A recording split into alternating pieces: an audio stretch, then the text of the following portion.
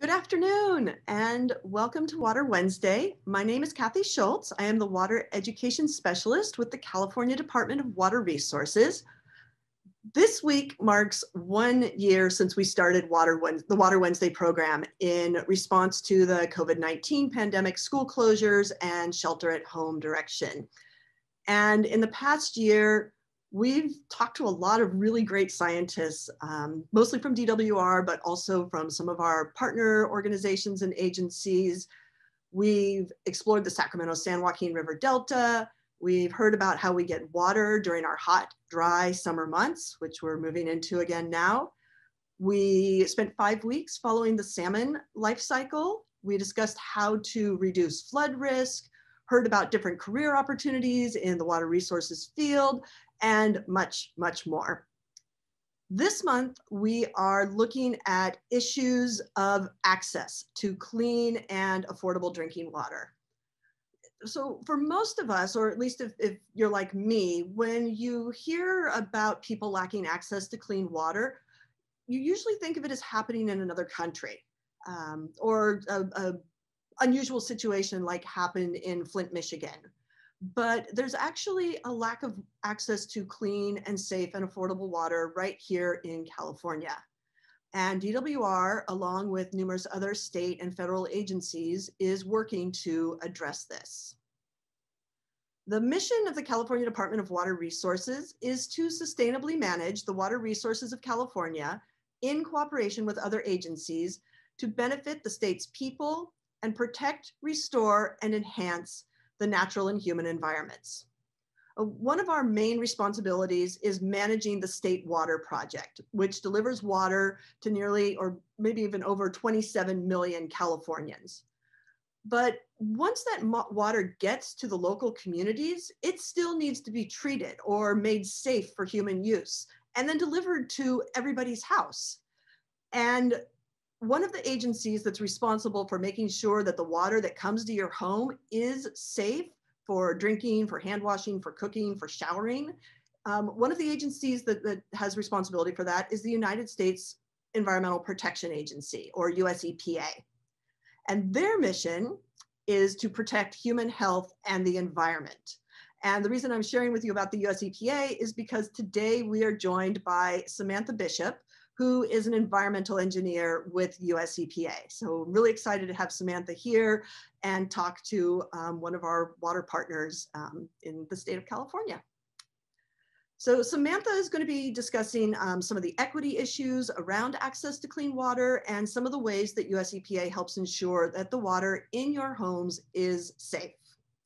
And I'm going to turn things over to her in just a moment. But before I do, I just want to go over a couple of quick um, how-tos with Zoom in case you're joining us for the first time. So we, um, as you noticed when you joined us, we do have your video and your microphones off. Uh, this just helps reduce any sort of background noise, vacuum cleaners, leaf blowers, barking dogs, um, and allows everybody who's joining us to focus on Samantha but we really do want to hear from you. So we have the chat option available. If you go down to the bottom of your Zoom screen, you'll see a little uh, white word bubble with the word chat under it. And if you click on that, it'll bring up a window and you can go ahead and send me any questions that you have for Samantha, either during her presentation, if she says something that makes you go, huh, or afterwards. Um, we'll, and we'll get to as many of those questions as possible. Lastly, our Zoom uh, presentation does have closed captions available.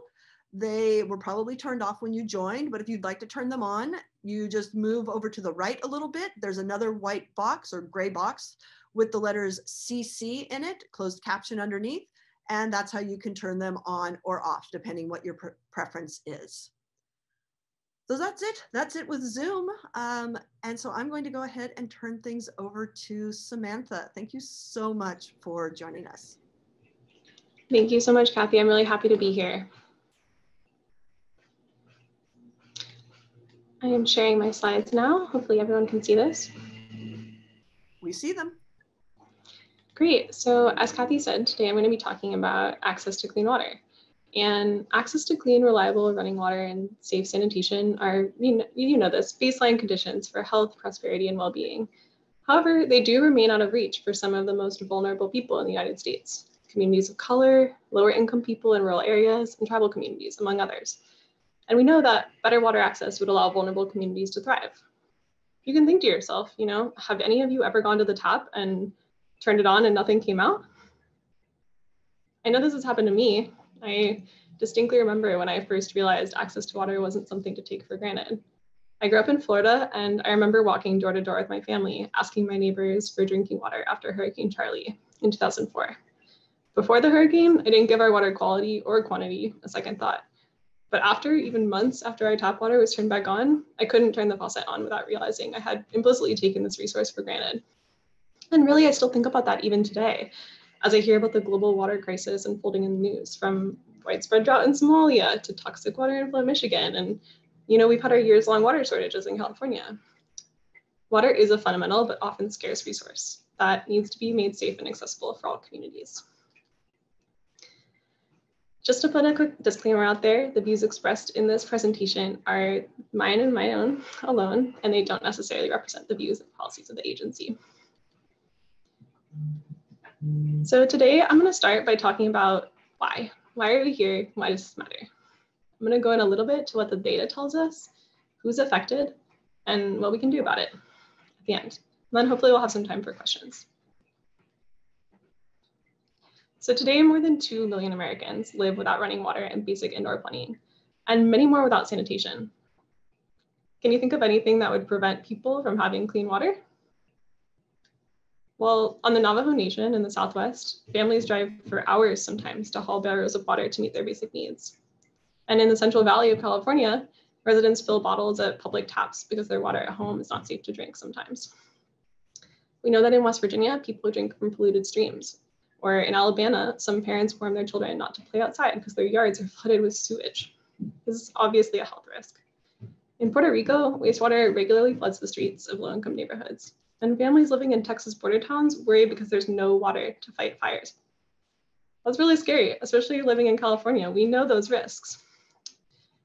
So more than 2 million Americans lack with, uh, access to basic drinking water. And this number includes 1.4 million people in the US who lack indoor plumbing, 250,000 people in Puerto Rico, and 553,000 homeless people. I know that these are some unbelievable statistics, but this is the reality for people living in the United States, right here and right now. And while the majority of Americans take high quality drinking water and sanitation access for granted, millions of the most vulnerable people in the country, low income people in rural areas, people of color, tribal communities, immigrants, they've fallen through the cracks. Their communities did not receive adequate water and wastewater infrastructure when the nation made historic investments in these systems in the past decades. And that initial lack of investment has created a hidden water and sanitation crisis that continues to threaten the health and well-being of millions of people today. 100 years ago, waterborne illnesses such as cholera were a leading cause of death in the United States. And recognizing that threat to public health, our government invested in modern systems that extended safe and reliable drinking and wastewater services to nearly every American. As a result, water and sanitation related diseases were nearly eradicated, and public health and economic outcomes improved. The United States continued to fund infrastructure through the late 20th century with equally impressive results. But today, however, federal funding for water infrastructure is a very small percentage of what it once was. And communities that not, did not benefit from past benefits have a hard time catching up. Some communities even report that they are losing access to services they once had, suggesting that fewer people tomorrow will have a working tap or toilet than they do today. That's pretty scary. In California, for example, in 2013, thousands of people lost their running water as severe drought took domestic wells and municipal systems offline. The water is now back on, but many residents in the Central Valley still can't drink it because their wells are contaminated. This is an example of these people losing water sources that they had before. So what does it mean when I say um, access to water? I mean safe, accessible, acceptable, accessible, affordable, and non-discriminatory access to water. Accessible meaning continuous, not subject to interruptions. Safe, the water quality does not have adverse effects on human health. Affordable, the cost of this water doesn't burden someone from being able to procure other essentials that they need. and non-discriminatory. Access to service is not determined by race, ethnicity, national origin, sexual orientation, citizenship, status, age, gender, etc. So what do we know about access to water in the United States? Well, race is the strongest predictor of water access. Nationwide, 0.3% of white households lack complete plumbing, as compared to 0.5% of African American and Latinx households, and almost 6% of Native American households. We also know poverty is a key obstacle to water access. And all of this comes out of a really interesting study by the US Water Alliance called Closing the Water Access Gap in the United States. I highly recommend anyone who's interested in following up with that. So while race is still the strongest predictor of plumbing access, it's not the only factor. Economic status is another strong determinant of access to services. Finally, water access challenges affects entire communities. The water access gap is not a matter of isolated individuals choosing to be rugged and live off the grid. It's the result of a lack of adequate water infrastructure that affects whole communities. So where did this infrastructure problem come from? Well, in 1997, 63% of total capital spending for water and wastewater systems came from federal agencies. Today, that number is only 9%. And as federal support for water infrastructure has declined, local and state spending has increased to help meet capital needs, but despite increased contributions from water ratepayers, water funding infrastructure continues to fall far below needs. And moreover, for the communities that were historically unable to develop water infrastructure, this decline in funding makes it even harder to catch up to the rest of the country.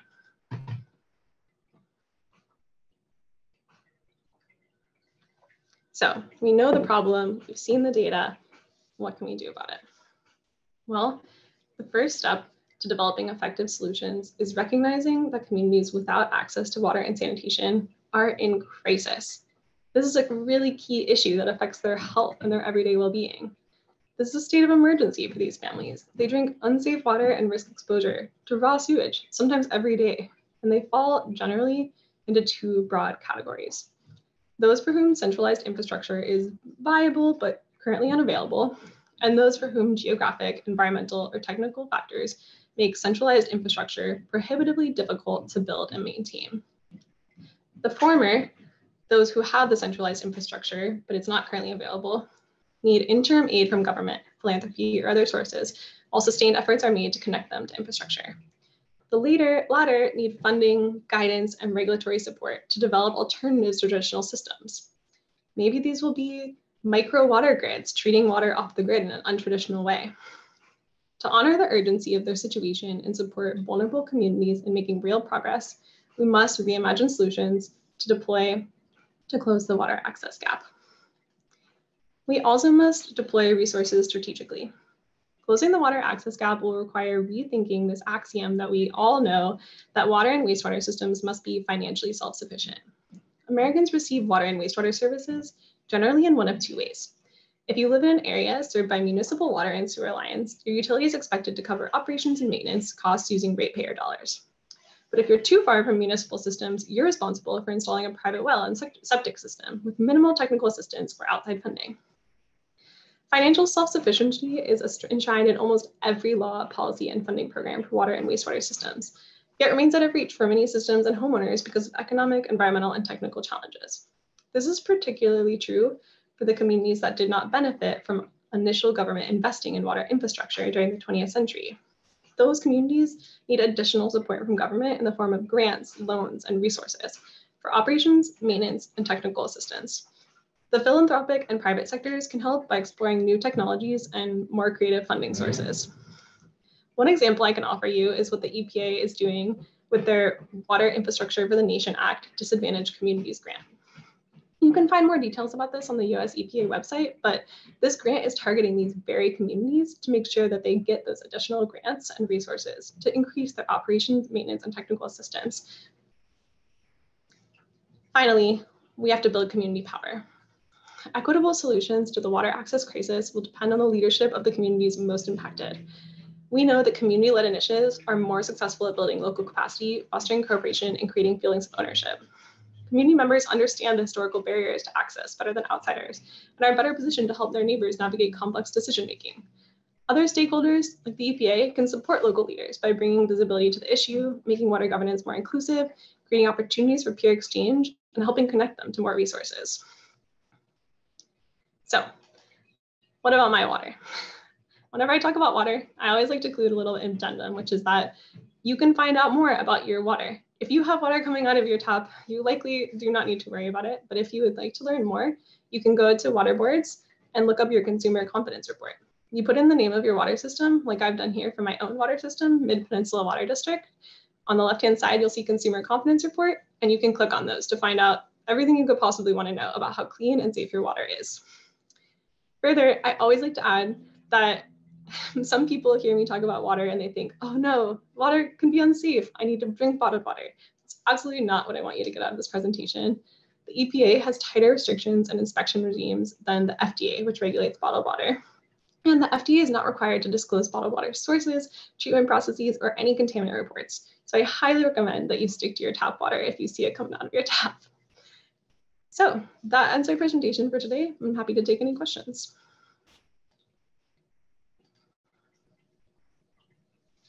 Thank you, Samantha. That was great. Um, if you want to stop sharing your screen, um, we can go ahead and get to some of the questions that came in. Um, let's see, I've got a bunch in here. You, you mentioned that um, there's about 2 million people throughout the United States who don't have access to, to clean water. Is this distributed evenly throughout the US or is it concentrated in certain, um, certain states? Yeah, it's concentrated in certain areas, and these are usually low income communities, um, tribal areas, or for example, in California, we have our Central Valley, which was highly affected by drought. And that's a really concentrated area for us to work on. Um, it isn't evenly distributed, but we generally know where those hotspots are and are working on them. How does California um, rank in access to clean water? Are we better than, you know, top of the curve, bottom of the curve, kind of in the middle? I, there isn't good data on this, but I would say about in the middle. I mean, we definitely are one of those hotspots that the US EPA is focusing on. And it's important to consider that, you know, we might have water here, but our neighbors over in the Central Valley, they're really suffering. Got it.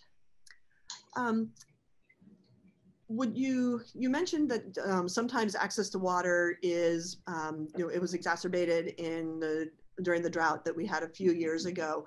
When wells go dry in, say, a rural community, what what happens then? What can the can the water recharge, or um, what are the the steps that you can do to get water to people who already live in? Yeah, this is a really good question. Right now, we're seeing that people are driving tons of miles in order to collect water and bring it back to their homes because their wells have gone dry. And the groundwater sustainability plan, which recently came out and most groundwater sustainability agencies are coming up with right now, is trying to address some of these um, wells going dry issues. And in some ways that they're trying to increase the amount of water we have in reservoirs, and in other ways they're coming up with new water access solutions for those people who've well gone dry.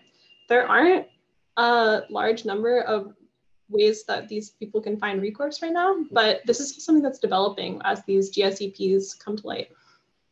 Got it. And GSEP is? Uh, Groundwater Sustainability Environmental Plan. Thank you. Right. Got it. Great. Um, so you mentioned that the, the federal investment has really um, has gone down over the last 10 years or so. And the states and municipalities have maybe picked theirs up. Has it, have the states and municipalities been able to keep um, keep pace with the, the lack of um, federal investment or do we really need the more federal investment to tackle this problem? we absolutely need more federal investment. Um, states and utilities generally have upped their contributions by almost twice what they were doing in the 20th century, but they are not even close to keeping pace with those federal dollars. We used to have billions of dollars coming from the federal government into these states and utilities. So one thing I am really excited about though is I believe it was last 30, Thursday, the Senate passed a $35 billion bill, which approved funding to shore up the nation's water systems, particularly in rural and tribal communities that have long been neglected and suffer from these poor sanitation and unclean drinking water issues. So we are starting to see a new wave of federal funding, and that's something to be really hopeful about. Excellent. Um, that, that answers the question about if there's a, if Congress is helping, taking steps right now to help with water infrastructure. Yeah. What can you tell us a little bit more about um, what do you do and what was your your background to? You mentioned that the the hurricane got you really interested in the water issues. Um, did you go to school to work specifically on um, water access or water policy? Yeah, absolutely. So I did move to California specifically to study uh, advanced treatment methods. So things like reverse osmosis and desalination, which are definitely ways that we can contribute to our water supply for the future. I studied at University of Southern California to get my environmental engineering bachelor's and then got my master's at Stanford in environmental engineering as well.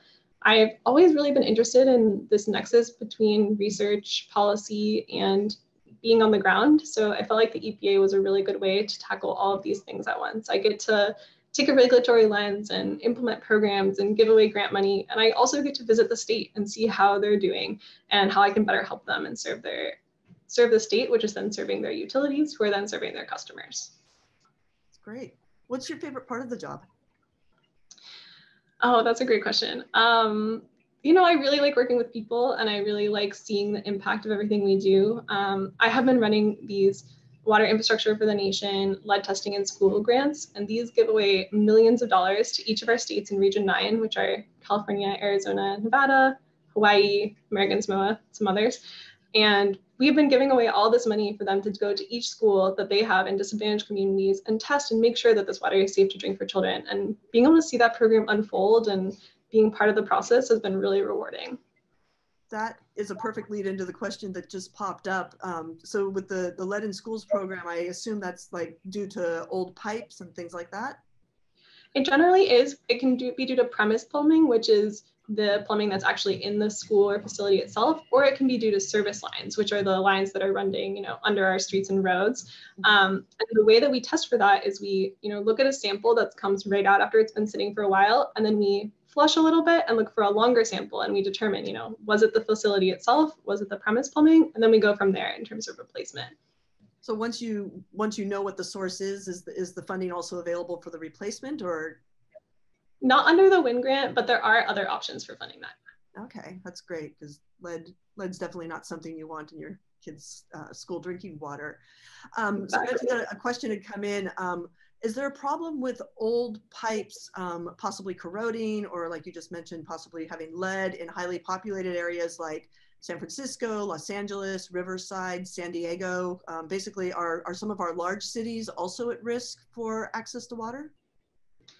Sometimes I'd say less in California than more in the Northeast, where they have a lot of old, really old existing plumbing. Um, if it's something that you are concerned about, which is absolutely you know relevant, you should go look at your consumer confidence report. Lead is one of the things that they report on, and you'll have the confidence to know that that's not something you need to worry about.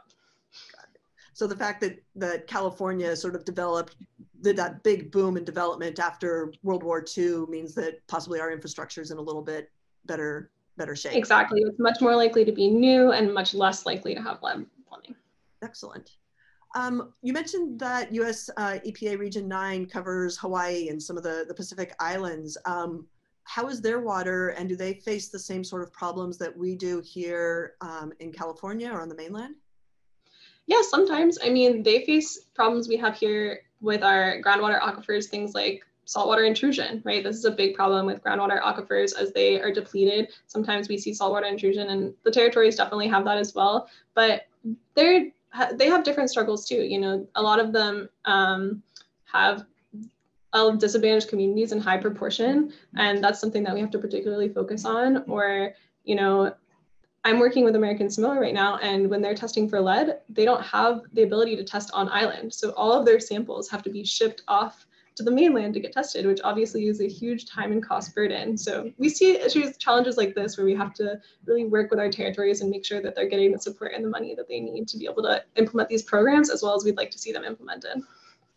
So I guess even within California, it sounds like we have different um, issues with access um, to to clean and safe and affordable water.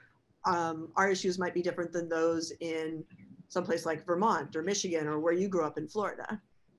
Right, exactly. They might be more about drought or fires and you know Florida will be much more about saltwater intrusion and hurricanes and then our territories might be about just physically getting out to all of our utilities and making sure that they are properly implementing the Safe Drinking Water Act. So it, it's different everywhere, but that's why the EPA is regional. And then each of us at the EPA um, on the Safe Drinking Water Act program works on a different state. And so we try to become as much of local experts as we can. Okay, that's great. So so Guam is your your state or territory that you're working on, or not Guam? I uh, Americans. Where did you say it was? I am Nevada, but for the WIN grants, I do actually all the states. okay. it sounds like you're you're kept pretty pretty busy. Um, so one, I think we have time for one more question. Um, the uh, impacts of climate change um, is this is this exacerbating the the problem um, to to clean safe water?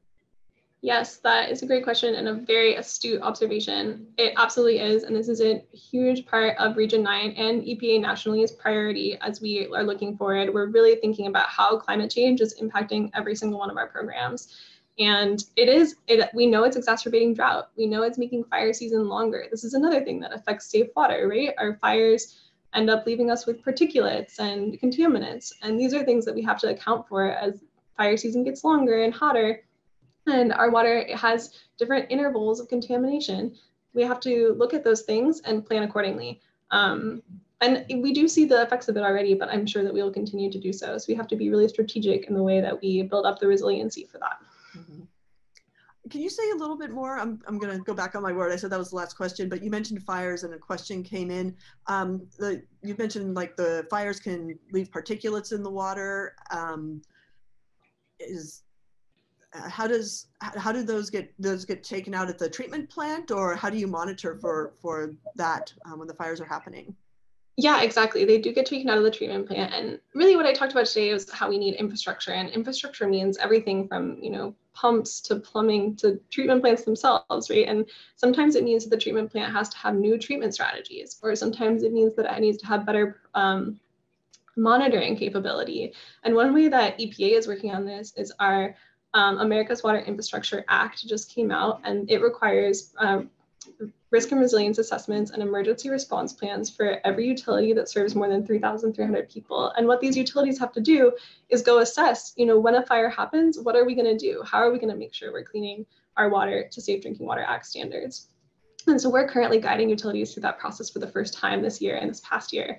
And it's a fantastic program because we do make sure that as climate change is happening, we become more resilient. We're using these risk and resilience assessments and the emergency response plans to be countering the stuff before it even happens. Wow, that's great. It's good to hear that you know people are looking ahead because um, fires are, are have been a big issue here for the last couple years, as I'm sure you know. Yeah, absolutely. Yeah. All right. Well, um, I just want to say thank you so much, Samantha, for joining us today and um, to your supervisors at EPA for allowing you the time to come and, and talk with us on Water Wednesdays. Uh, this was really really fascinating um, to hear what another, you know, partner agency is doing to address the water needs in California. I want to thank everybody who joined us from home as well. To learn more about DWR, please visit our website. It's water.ca.gov.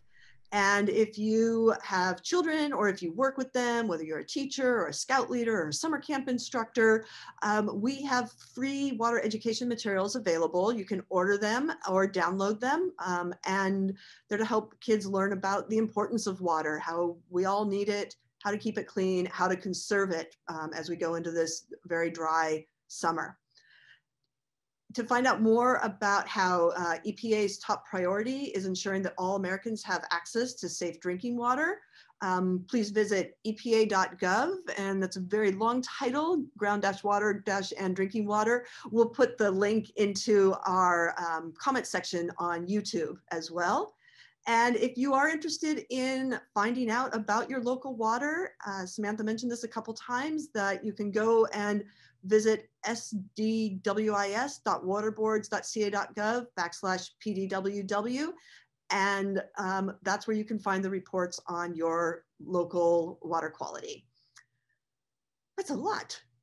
Um, lastly, to stay abreast of projects that DWR is working on or to find out about our upcoming Water Wednesdays, please follow us on social media. We are on Facebook, we're on Twitter, we're on Instagram. We post job openings on LinkedIn. And as I mentioned, we also have a YouTube channel and you can find all of our previous Water Wednesdays on YouTube. Um, you can this one from today will be available tomorrow if you joined partway in or you want to go back and rewatch it or share it with somebody, um, as well as other uh, DWR projects. And I know EPA is, is active on social media as well. Um, we will be back next week with Jordi Vasquez, who is an, environmental scientist with DWR. And Jordi is going to be discussing California's human right to water and how DWR and its partners are working to make sure that all Californians have access to clean and affordable water. So um, the whole month, we're going to be talking about these different issues of access and different ways that um, different people throughout the state are working on it. We really hope you come back and join us next week. And until then, have a great week. And thanks again, Samantha. You were, it was a pleasure having you here. Thank you.